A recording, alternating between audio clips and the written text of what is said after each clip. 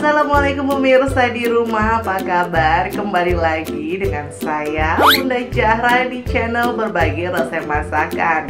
Nah hari ini aku mau buat video resep gurame asam manis Cara buatnya kayak gimana pemirsa? Mudah banget, gampang, nggak pakai ribet, bahan seadanya dan yang pasti lebih hemat ya pemirsa di rumah. Oke, nggak perlu tunggu lama-lama. Kita mulai cara buatnya kayak gimana. Tapi sebelum itu jangan lupa ya pemirsa untuk subscribe, like dan komen pemirsa di rumah. Serta jika channel ini bermanfaat untuk pemirsa di rumah, Jangan lupa share ke sosial media kalian pemirsa. Oke kita langsung aja ke cara pembuatannya gimana. Nah pemirsa bahan-bahan yang pertama yaitu ada satu ekor ikan gurame Yang udah kita fillet dagingnya terus dipotong-potong kotak seperti ini. Terus ininya jangan dibuang ya nanti ininya kita pakai Lalu ada tepung crispy satu bungkus. Nih seperti ini. Lalu ada garam secukupnya. Gula pasir secukupnya. 200 gram saus tomat. Kemudian ada juga tepung maizena yang sudah dilarutkan dengan air pemirsa di rumah ada 300 ml air. Ini untuk sausnya ya.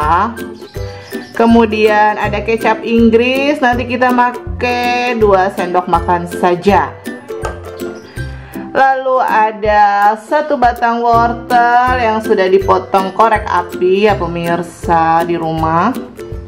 Dua siung bawang putih yang sudah dicincang seperti ini. Dan satu buah bawang bombay yang sudah kita iris pemirsa di rumah. Nah cara pembuatnya gimana? Langsung aja pemirsa. Nah ini kita buka ya pemirsa tepungnya. Ini dibagi dua nanti ada tepung basah sama tepung kering pemirsa. Ini tepung keringnya kita pakai segini ya lalu tepung basahnya.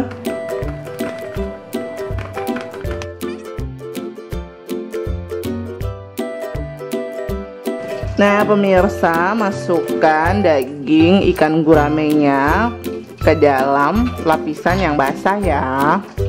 Seperti ini. Sekarang kita masukkan ke lapisan yang keringnya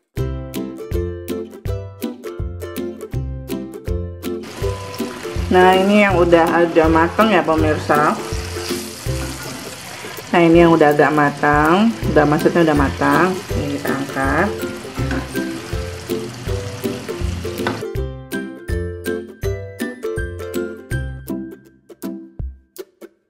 Nah duri-durinya tuh atau tulangnya itu kita pakai juga pemirsa. Tuh jadinya seperti ini kita goreng. Nah ini udah agak mau matang ya pemirsa apalah ya sedikit. Kita angkat. Lalu sekarang kita mau buat saus asam manisnya. Nah pemirsa sekarang kita bikin saus asam manisnya. Yang pertama kita tumis bawang putihnya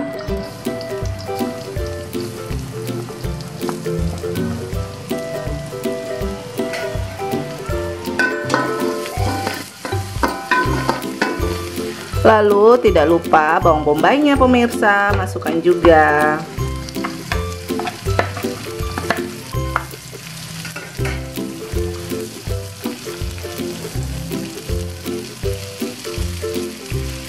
Kita tumis sampai agak harum. Masukkan wortelnya.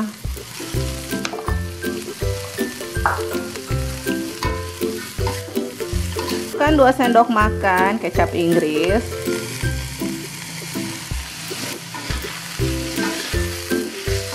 tuangkan saus tomatnya.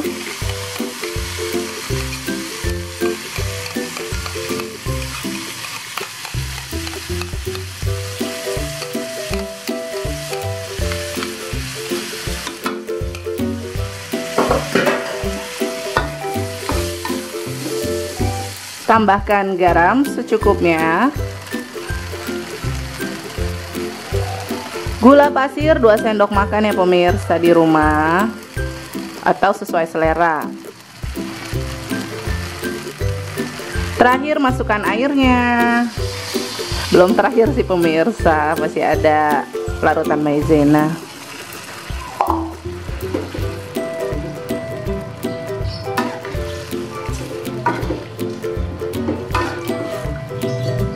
Nah ini udah mendidih ya pemirsa tuh. Pemirsa harus coba nih di rumah. Rasanya tuh juara banget. Nah tambahkan air larutan maizena. 2 sendok makan ya pemirsa. Biar agak kental. Nah. Sebenarnya ini udah agak kental ya cuma kita tambahkan larutan maizena lagi supaya biar tuh kayak agak kental banget gitu ya. Yang gak kental-kental amat sih. Tiga deh pemirsa tiga sendok makan ya pemirsa larutan air maizenanya. Tuh udah oke nih pemirsa. Pemirsa jangan lupa coba ya di rumah. Ini beneran loh enak banget Nah pemirsa cara sajiannya seperti ini ya Enak. Enak? Enak. Lalu kita tuang sausnya di atasnya.